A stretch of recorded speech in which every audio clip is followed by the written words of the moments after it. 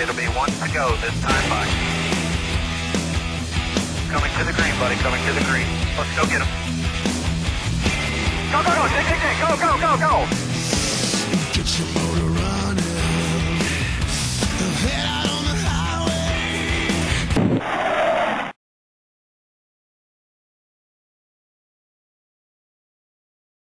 I don't know why I, I've run so well here. Um, both races we've done really well. Um, I just try to drive the race car. I don't do anything but just rely on my instincts and uh, try and drive around the track as fast as I can. I love Bristol. I just love NASCAR. It's just the best form of racing I've ever experienced. And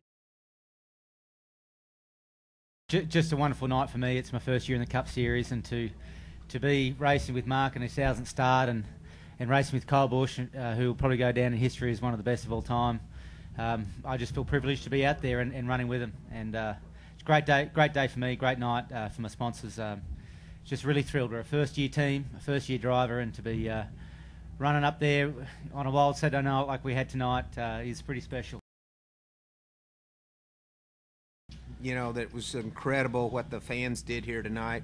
In my opinion, a thousand starts ain't no big deal, but what they did made me cry. So um, it's pretty cool. Uh, almost get emotional thinking about it again. I love the sport as much as they do.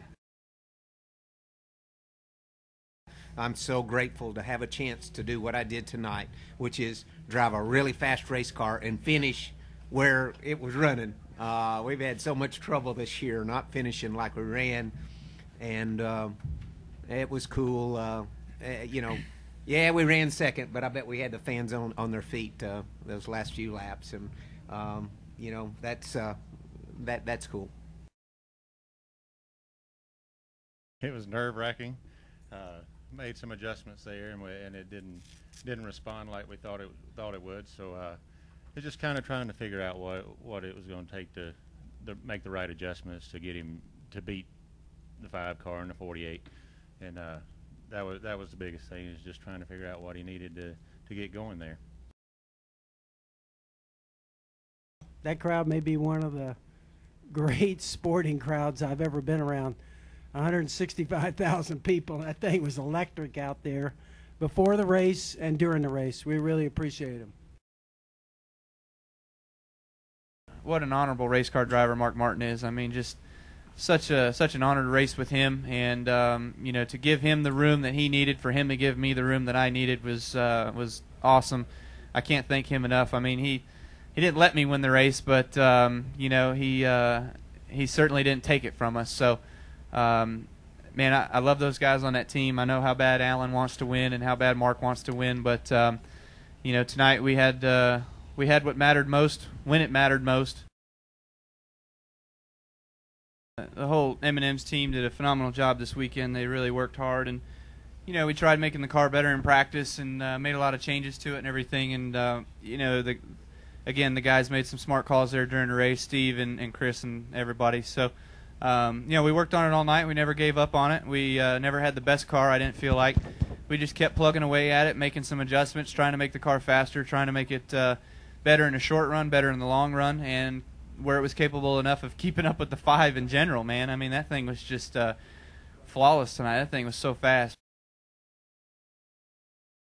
There's a gaggle of nine guys that are trying to fight this battle to get in the chase, and so um, tonight it didn't look like the 83 had a good night, and I don't I don't know who else, but I was trying to pay somewhat of attention, but. Um, the 47 ran good. He's further behind us, but you know the 39 was decent there. But um, it's so hard to figure out all the time because it's like, okay, well we're going to chase the 17 and 16 this week. Well, they run good, but let's just say the 42 and, and the 39 run poorly. Okay, so now we're chasing the 39 and the 42, but then the next week they run good again, and the 17 and the 16 they they run poorly again. You know, so it's back and forth. It's not just a gaggle of guys that you're chasing. You're almost just chasing a point total. This is NASCAR Newscast. Kyle Busch held off Mark Martin in a fierce battle over the closing laps to win Saturday night Sharpie 500 at Bristol Motor Speedway. Busch took the lead on lap 433 and stayed in front the rest of the way to score his fourth victory of the NASCAR Sprint Cup Series season and a sweep of both races at Bristol in 2009. Martin has one last shot. He looks inside in turn three. As they exit turn four, it's not going to happen. Kyle Busch will win the Sharpie 500 with Mark Martin right on his back bumper at the finish line. Coming home in third, Marcos Ambrose rallies to take the third spot. Greg Biffle will finish fourth. Denny Hamlin fifth. They set up a tight battle between myself and Mark Martin, who is the, you know, the best car all night. But uh, man, what what an honorable race car driver Mark Martin is. I mean, just such a such an honor to race with him, and um, you know, to give him the room that he needed, for him to give me the room that I needed was uh, was awesome. The win was Busch's sixth career at Bristol in one of NASCAR's top three divisions and came after his trip to Victory Lane in Wednesday night's Camping World Truck Series race at the track. Martin tried his best to work around Bush for the lead in the final four lap sprint to the checkered flag, but was forced to settle for the runner up spot. Kyle gave me all the room in the world. And it's a good thing because I was over my head when I went in that corner and I got loose. And if he'd have been crowding me, we both would have went up to the wall. So I'm really grateful for that. But he raced me uh, like a good sport. And uh, when he's behind me, I will be comfortable that he will race me the same way that I raced him.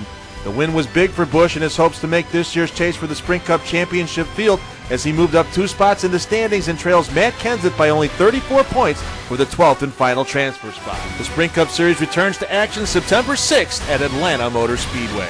This is NASCAR Newscast.